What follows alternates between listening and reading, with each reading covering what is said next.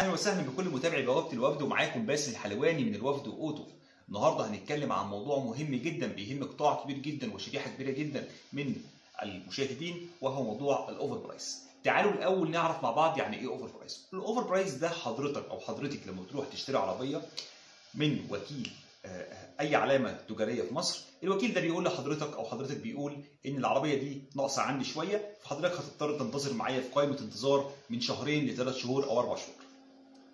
فحضرتك طبعا مش هستنى الفترة ديت فبتضطر تلجأ لأحد تجار السيارات بره اللي عنده العربية متوفرة. طبعا في فرق بين التاجر والوكيل. الوكيل ده اللي هو اللي بيستورد العربية اللي بينزل العربية مصر. أما التاجر فهو اللي بيستلم العربية ويبيعها للعميل أو المستهلك النهائي. فبعض التجار بيكون عندهم العربيه متوفرة لكن هي مش موجودة عند الوكيل. فالتاجر ده بيقول لحضرتك آه حضرتك لو عايز العربية دي تستلمها فورا مني أنا ما عنديش أدنى مشكلة خالص. بس حضرتك هتضطر تدفع لي زيادة سعرية 10000 أو 20000 أو 15000 الزيادة السعرية دي هو ده ال over price اللي إحنا بنتكلم عليه. يبقى ال over price هي زيادة سعرية الوكيل التاجر بيفرضها على بعض الموديلات اللي مش موجودة في السوق بشكل كبير. طب إيه سبب الظاهرة أو الانتشار الكبير للظاهرة الجنونية اللي حصلت في سوق السيارات خلال الفترة الحالية؟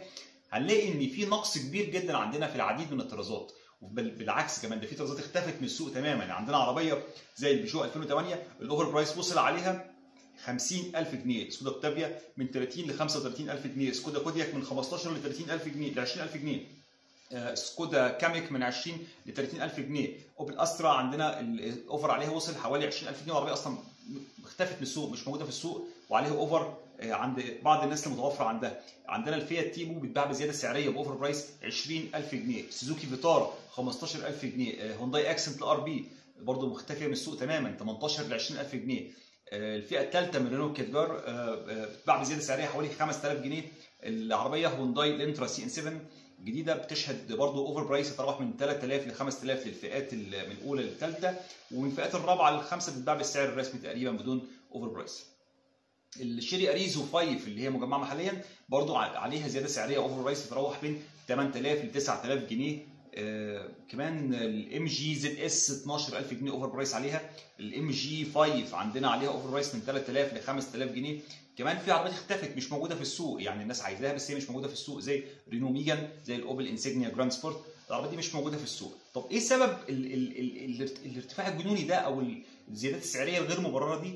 في الحقيقة الوكيل بيبيع العربية عنده بالسعر الرسمي لكن التاجر بيبيعها بالسعر ده علشان هي مش موجودة في السوق. الوكيل بيلقي باللوم على التاجر إن هو بيتسبب في هذا والتاجر بيلقي المسؤولية على الوكيل بيقول لا ده الكميات انت بتجيبها ناقصة فده اللي بيخلي العربية تتسحب من السوق وبالتالي عليها over price وكل وده بيلقي بالمسؤولية على ده زي كرة النار بالظبط ده بيحدفها على ده وده بيحدفها على ده.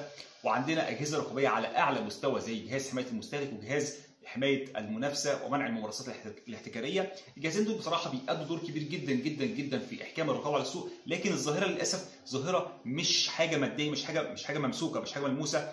الناس بتحاول وبتكثف البحث لعشان يظبطوا سوق السيارات في مصر. لكن للأسف الظاهرة دي بيتم ليها أسلوب يعني كذا أسلوب للتحايل عليها.